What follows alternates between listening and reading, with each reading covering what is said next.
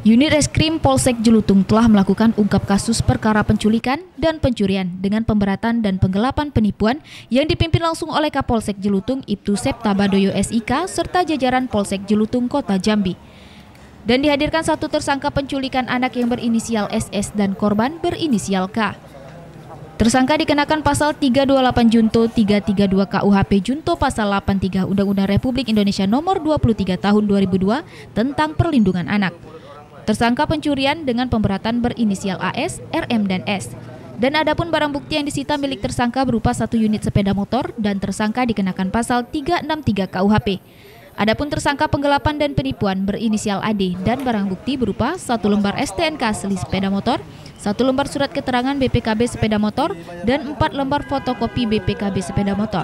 Tersangka dikenakan pasal 372 garing 378 KUHP dengan ancaman hukuman 4 tahun penjara.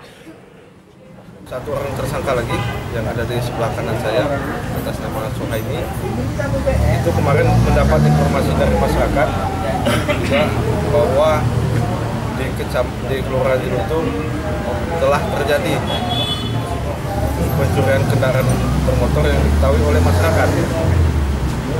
Jadi untuk tersangka itu sempat diamankan masyarakat. Dari Jambi, Sylvia Karolin Tribrata TV, salam Tribrata.